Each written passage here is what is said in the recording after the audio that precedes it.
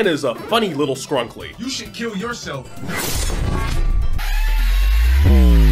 Like most iconic mascots, he started off humble and skyrocketed to fame having quite the collection of games under his belt. And while we continue to get better ways to experience these old classics, I can't help but feel it's more of the same, when you consider how Pac-Man used to get weird back in the day. Mass destruction, the closure of all chocolate factories, and the banning of kittens, perhaps. That's just phase one. Yeah, so as iconic as this guy is, it's kind of funny how most of the stuff doesn't actually come from Namco themselves, but from people that make ROM hacks and fan games. So for example, when you look at Ms. Pac-Man, that wasn't made by Namco themselves, solidifying itself is more than just a cheap spin-off. Exactly! You see, wait, how'd you get in here? Tay, next time that you decide to put a fake rock in your backyard, don't put a key under it, alright? It's just just a tad obvious. Come on, it's not that obvious. Anyway, then you have more recent examples, like the Championship Edition D-Make for NES, which started as a fan game, was later taken in by Namco, polished up by M2, and then officially released in a compilation. So that brings me to another fan game that should, in my opinion, be part of the official Pac-Man titles. Made by the Left Hand Man. Yeah, baby, that's me! Let's go! Pac-Man Bros is a continuation of the classic maze-like formula many of you will know and love. Elements such as the diverse layouts of Ms. Pac-Man and the wide-scrolling stages of Pac-Man Jr. make this game feel expansive and chaotic like a true arcade sequel. So, Left, what's your favorite Pac-Man game?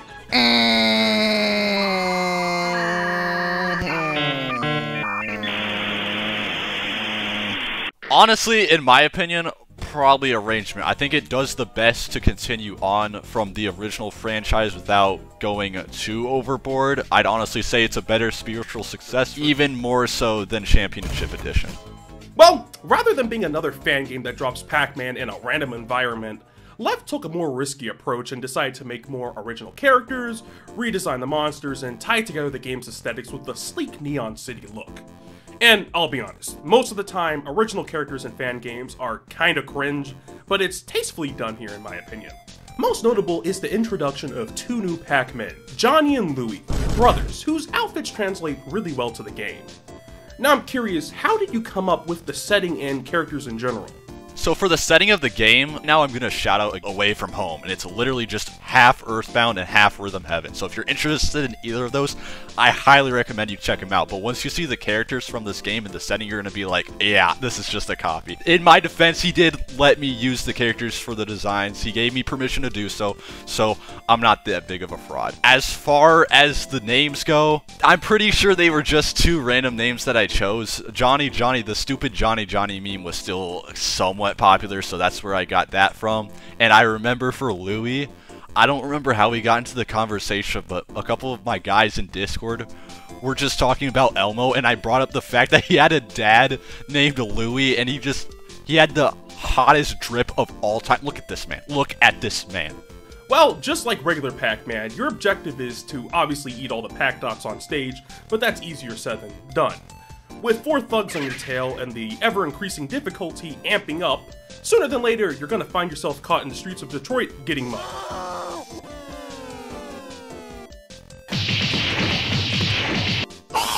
As far as I can tell, the AI for them is still pretty much the same, which is much appreciated as someone that plays a lot of Pac-Man. So Left, how did you get started in game development making the Pac-Man Bros in the first place? Alright, so it's kind of a long story, but I'm going to keep it as short as possible. So basically, right, uh, I had a class in my college, so one credit semester, and it was literally the whole class, it was a coding class about just, just make something. Literally, that's it. Get in a group and just make something. What I made doesn't matter at all, uh, but what does matter is that one group made something that made the five-year-old in me cry a lot. They made Pac-Man. Just like most fan games, suck. And it made me cry because what they specifically mentioned was the fact that the ghost AI was really bad. And after looking at it, yeah, it was like the most basic stuff. There was no strategy or anything. It's like a three-year-old coming at you with a with a blindfold. So basically, I got mad about it. I didn't mention it to them, but I'm just like, you know what I'm gonna do? I'm gonna go home tonight I'm gonna do their entire project in one sitting just to show them how you make a real Pac-Man game. All I did was just look up one video within eight hours. I think I stayed up till like four in the morning doing it, but I was I was devoted to showing this kid that I don't even remember what he looks like, that I was better than him.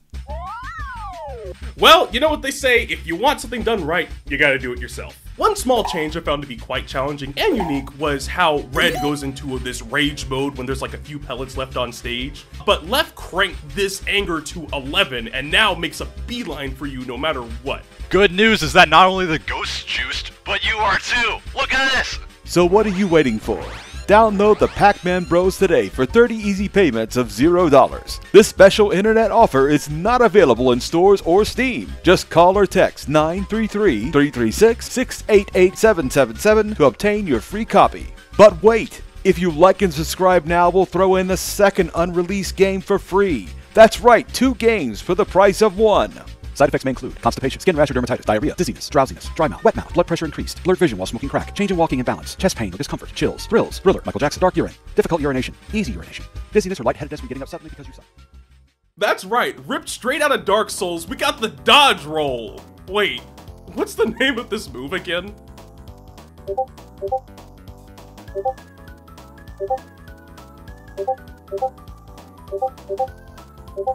Well, thanks to my big mouth, it's apparently called the Detroit Dodger now.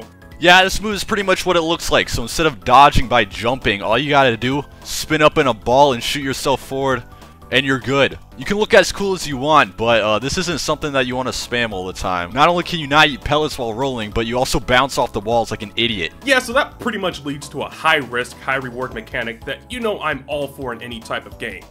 So now that we covered the basics, what makes this Pac-Man fan game different from the others in your opinion? So I don't know if you've noticed, but I decided let's just do some rules where it's like there's only one way to get extra lives. There's only like a certain amount of levels and you can't choose them. They're all RNG, etc., etc. I wanted to be faithful by putting rules. You make it more like a sequel to the original games and something that's kind of think of it. I like to describe it as like the Sonic Mania of Pac-Man in a way. I also really love the details added to this game. Uh, first up is the fruits. In most Pac-Man games, it will either be static in one place or hopping along a path like Ms. Pac-Man. But what's noticeable in this game is that not only do they move along a path, but when moving over other pellets, they get converted into those big or fat pellets. And anyone that's played Arrangement knows that this variation slows you down considerably, but it's worth more points. And speaking of arrangement, this game also supports simultaneous co-op. Who's gonna play with you loser! You're so lonely! You're gonna play it with me! so, considering we had to use Parsec to play together, the experience was actually pretty good. It makes the game easier in some regards, but it also makes it all the more exciting when the only thing between you and a game over is your friend frantically trying to finish the Pac-Man letters to bring you back to life. Eh, You better bring me back to life like I did for you! I got the N-word pass. Also, another change, as we mentioned earlier, is how the lives work. Rather than reaching a point threshold to gain an extra life, it's now relegated to these Pac-Man letters at the bottom. If you catch them and fill out all the letters, then you finally gain an extra life. Yes! We're back, baby! We're back! It's, we've never been more back than before! Pack is black. While it sounds like this whole extra lives thing can be cheesed, it really can't, because there's only about a 50% chance for a letter to appear on only one of the ghosts at a time. And when you get to the higher levels, forget about it. I gotta say, my favorite part is getting mugged. Who doesn't love getting your shoes stolen in the streets of Detroit? I know I do! So, are there any hidden details you'd like to show us about your game? One thing that is hidden are two audio things. One of them being that when you die, it's the same sound effect, or I tried to replicate it, for when you lose a battle in Earthbound.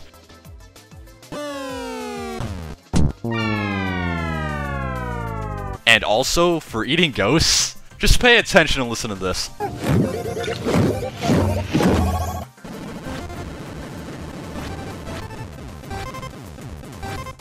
A little off-script thing I just thought of at the last second. So, all the ghosts are named in the game. Why is Clyde different? Why is he called Jeff now? I don't know if you've noticed this a lot, but they really like messing up Clyde's name a lot. So in some games, he's just called something different. In some games, they mess up his name with Blinky, etc., etc. I wanted to kind of go with the trend, and uh, so his name is Jeff now. Why is his name Jeff? I don't know. So, what would you say is the hardest part when making this game? There's a lot of hard things to a game. But for me, it's even doing it in general because I'm never motivated. So, well, do you have any future plans for this game?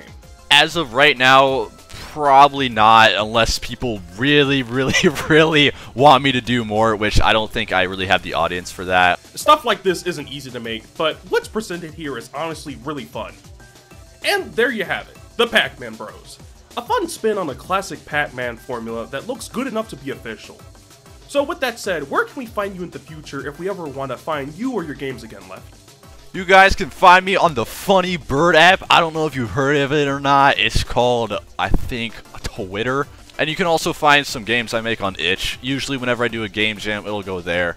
Well, I'm actually glad we have a way to find you, unlike other game developers I've tried to contact in the years past. One thing I want to say before the video ends is that I definitely want to give out a shout out to Cruz Elroy. He worked on Anilin, and he was kind of the one that inspired me to kind of get back into work on this and get motivated in time for Sage 2022. Not only is it inspiring in the fact that he taught me that people still care about arcade games to date, but I'm pretty sure he also made the game in Game Maker, which is great. Game Maker Nation rise up, by the way. Anilin, amazing game. Um, I need to review that someday. Well, thank you all for watching, and as always, stay. Stay lefty! No, stay foxy. Stay lefty! Stay foxy. Stay lefty! no, stay foxy, you Do idiot. not make me come over there and beat you to death. this is I my swear. video. I swear. I'm not. I don't care, you. dude. It's about me. Get out of my. Get out. Get I- out. Actually, wait. uh, You're the one that came into my house. Get out. And then officially released in a compilation. I will never stop talking about this game, by the way, until it's considered a masterpiece. So that brings me to another fan game that should, in my opinion, be part of the game, having quite the collection of games under his belt. And while we continue to get better ways to experience these old classics, I can't help but feel it's more of the same, when you consider how Pac-Man used to get weird back in the day. Mass destruction, the closure of all chocolate factories, and the banning of kittens, perhaps. That's just phase one.